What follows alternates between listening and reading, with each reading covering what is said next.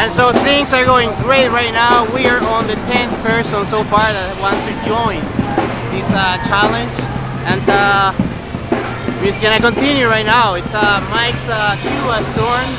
So you are next, baby.